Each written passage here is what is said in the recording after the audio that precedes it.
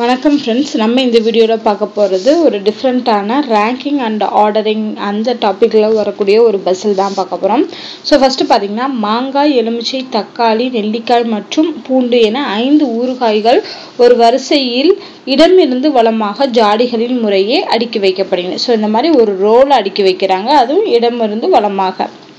So அஞ்சு ஊறுகாய் இருக்குது ஸோ ஒவ்வொருவோட இடம் வந்து எப்படி இருக்கும் அப்படிங்கிறத நாலு கண்டிஷனில் கொடுத்துருக்காங்க.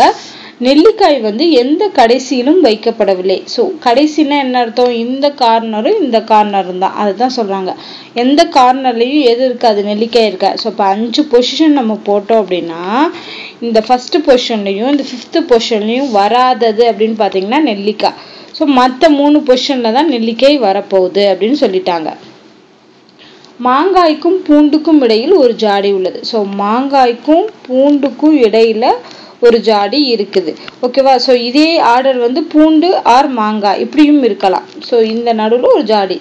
ஓகேவா ஸோ இந்த மாதிரி இருக்குது அடுத்து மூணாவது வந்து எலுமிச்சையின் இடதுபுறத்தில் தக்காளி இருக்கும். ஸோ எலுமிச்சை இங்கே இருக்குன்னா அதோட இடதுபுறம் எது இது? ஓகேவா ஏன்னா எல்லாமே இடதுபுறம் இருந்து வளமாகத்தான் உட்காந்துருக்காங்க ஸோ அப்படி இந்த மாதிரி டைரக்ஷனில் பார்த்து உட்காந்துருப்பாங்க அப்போ எலுமிச்சையோட இடதுபுறம்ங்கிறது இந்த பக்கம். இந்த பக்கம் வந்து எந்த வரிசையில் வேணால் இருக்கலாம். அவங்க என்ன சொல்லியிருக்காங்க? இடதுபுறத்தில் இருக்குன்னு சொல்லியிருக்காங்க. இமீடியட்டான இடதுபுறமா அப்படின்னு சொல்லியிருக்காங்களா? கிடையாது.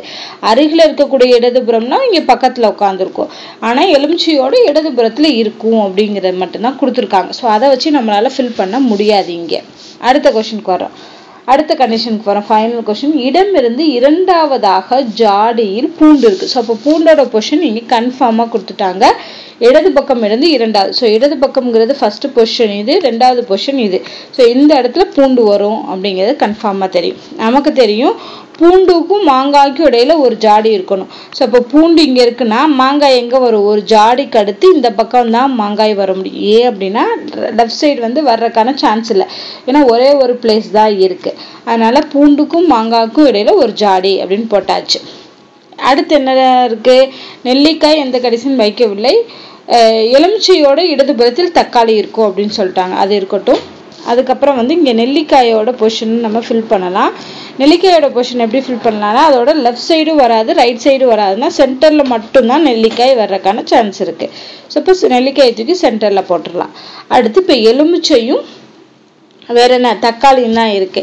எலுமிச்சையை வந்து வலது பக்கம் போட்டோம் அப்படின்னா இதோட இடது பக்கம் எது இந்த லாஸ்ட் கார்னர் தான். இங்கே வந்து தக்காளி வரும். ஸோ அப்படிங்கிறப்போ இந்த கண்டிஷன் சாட்டிஸ்ஃபை ஆகும் எலுமிச்சையோட இடதுபுறத்தில் தக்காளி இருக்கும். அது எந்த பிளேஸாக வேணால் இருக்கலாம்.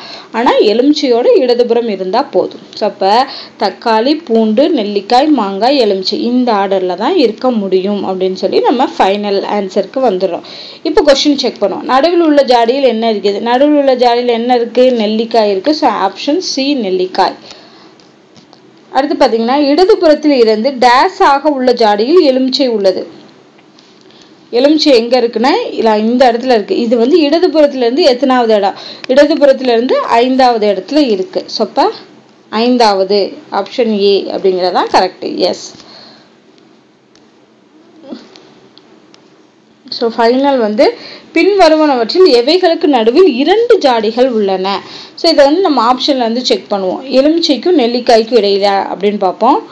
எலுமிச்சை அண்ட் நெல்லிக்காய்க்கு இடையிலான்னு பாருங்க.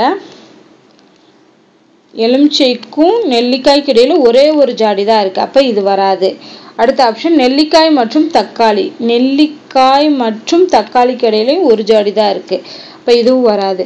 மாங்காய் மற்றும் எலுமிச்சை. மாங்காய்க்கும் எலுமிச்சைக்கும் இடையில ஜாடியே கிடையாது. இப்போ இந்த மூணு ஆப்ஷனும் தப்புனா ஃபைனல் ஆன்சர் தான் கரெக்டு தக்காளிக்கும் மாங்காய்க்கும். ஸோ தக்காளி இங்கே இருக்குது மாங்காய் இங்கே இருக்குது நடுவில் இரண்டு ஜாடிகள் இருக்குது எஸ் கரெக்டான ஆப்ஷன் வந்து டி அப்படிங்கிற ஆப்ஷன் தான். ஸோ இதுக்கு ஆன்சர் ஸோ இந்த மாதிரியான different type of reasoning questions வந்து நமக்கு கிடச்சிருக்கு. ஸோ இதே மாதிரி எல்லா கொஷினும் வந்து முடிஞ்ச அளவுக்கு நம்ம சால்வ் பண்ணி பார்க்கலாம்.